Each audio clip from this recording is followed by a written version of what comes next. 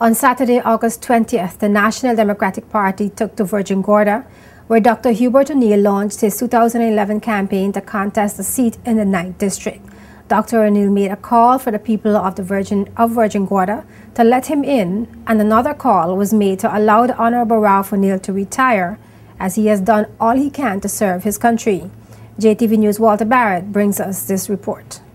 Dr. Hubert O'Neal officially launched his third attempt to win the 9th District from Premier 9th District Representative Honorable Ralph T. O'Neal last Saturday evening on Virgin Gorda, during which time he went on to talk about what he would bring to the people of Virgin Gorda should he be elected, such as a much needed and highly discussed medical facility on the sister island, complete with a full complement of staff and equipment. Dr. O'Neal made a call for residents to open the door wide as he has been knocking on it since 1999. According to Dr. O'Neal, the Premier would not move from the chair of District Representative easily. Where is our present representative? He is sitting in the easy chair. Just then he says, man, just send that boy to go clear, clear the land again. But he promised to build the, the mini hospital four years ago. In the meantime, the right O'Neal, that's me, I'm outside there knocking on the door. I have been knocking on this door since 1999. Yes, sir.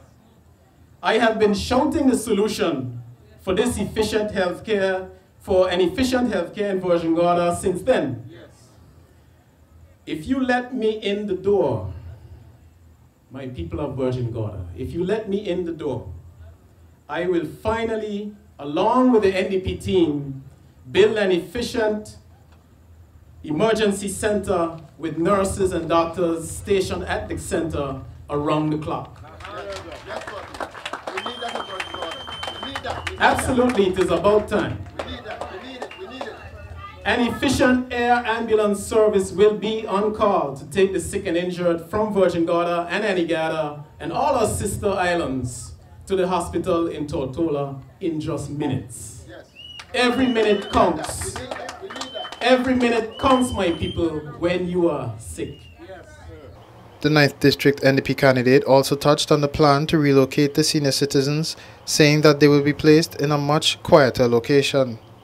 Then your grandmother, who has been living in your home with you, but you know she really needs full-time assistance, which you can no longer provide because both you and your wife are working. So then you decide to put your granny into the senior citizens home. But then she complains every day about the noise in her head. The noise in her head from the heavy equipment moving in the public yard, public works department yard, and the dust flying all over making her even more sick. The staff at the home, they know they try their best. They try their best, but really it's a bad situation for our seniors. Then you call our representative to remedy the situation. He declares that, well, I'm going to look into it while he goes back to cool out in the easy chair. Right in there, right in that chair. That easy chair.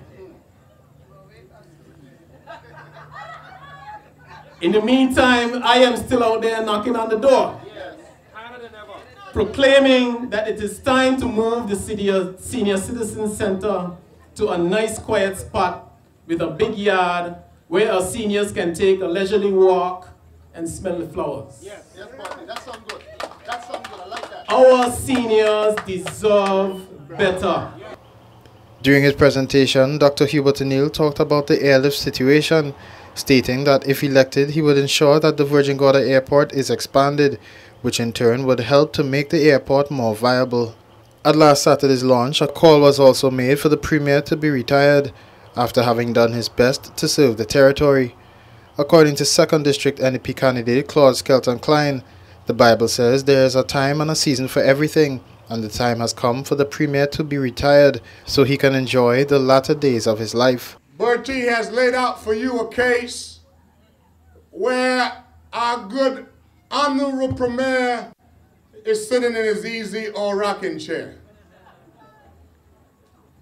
And I will not dare say, as a young man, anything negative or derogatory about our honorable premier. Because for 50 years, he has served his country.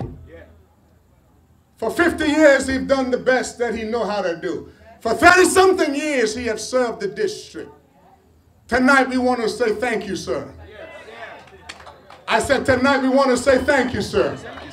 Thank you for doing the best job you could. Thank you for the years of service. But the Bible says that there is a time and season for everything.